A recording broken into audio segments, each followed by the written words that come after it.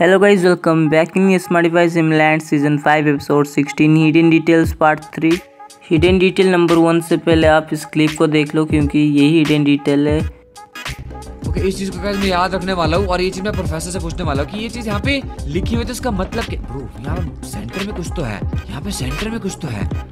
Oh my God यहाँ पर एक लीवर है। व्हाट प्रोटेक्शन फोर वाला मैं समझ गया गाइस हम लोगों को इस रेडियंट वाली जगह पे आई मीन इस वाटरफॉल वाली जगह से ये की चाहिए थी एक, जो कि लीवर है।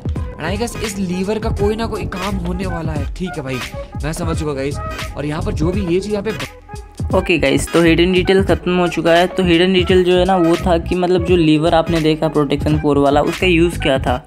अगर आपने अच्छे से हिमलैंड्स के मतलब एपिसोड के देखा होगा, उस एपिसोड को एपिसोड सिक्सटीन को तो आपको पता होगा कि लीवर का तो कोई यूज़ ही नहीं था।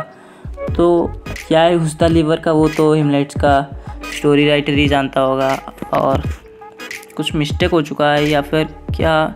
ये स्मार्ट भाई ने जब बोला था अच्छे से डिटेल में फोकस करना तो शायद ये भी एक हो सकता है हिडन डिटेल इसी के बारे में वो बात कर रहे हैं लीवर का कोई यूज़ के बारे में। और जो ये स्मार्टिफाई का सीज़न फाइव का एपिसोड सेवेंटीन है, वो लेट आने वाला है शायद से, क्योंकि अभी तो ये स्मार्टिफाई मर चुके हैं। और जो मरे ना, वो मतलब लिख के नहीं आया था नीचे कि ये Smartify was killed by Clavis और कुछ भी ऐसा लिख के नहीं आया था। तो मुझे लगता नहीं कि वो कहीं पर भी रिस्पॉन्ड करने वाले हैं। मुझे लगता है कि वो कोमा में चले गए हैं तो अभी रिस्पॉन्ड नहीं करने वाले। मतलब नुबड़ा जी की तरह ही, क्योंकि अगर मरते वो मतलब इस तरीके से जो मर रहे हैं ना, मुझे नहीं लगता कि वो सच में मरे हैं, क्योंकि अगर आप फ्लीट एसएमपी को देखते हैं तो आपको पता होगा कि फ्लीट एस पे भी मतलब जो जैक है, वो ऐसा ही सो जाता है। तो शायद ऐसा हो सकता है कि मतलब हिमलैंड्स ने कॉपी किया और फ्लीट एसएमपी का वो जो सीन इस तरीके का।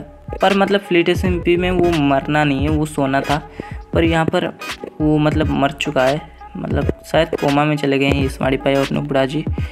तो कुछ भी हो सकता है नेक्स्ट हिडन डिटेल की ओर चलते हैं। हिडन डिटेल नंबर टू तो गाइज़ अगर आपने नोटिस किया है ना तो आपको पता होगा कि जब नुबड़ा जी मरा था, जब किलविस ने नुबड़ा जी के ऊपर ट्राइडेंट फेंका था तो नुबड़ा जी की जो है ना मतलब छाती वाती सब फट गई थी। और जब स्मार्टिफाई जो है, वो जब मरे, और उनका मतलब कुछ भी नहीं हुआ मतलब ऐसे लेट गए, जैसे लग रहा था कि लेटे हुए हैं। तो मतलब मरा हुआ नहीं लग रहा था तो ये भी हिडन डिटेल था।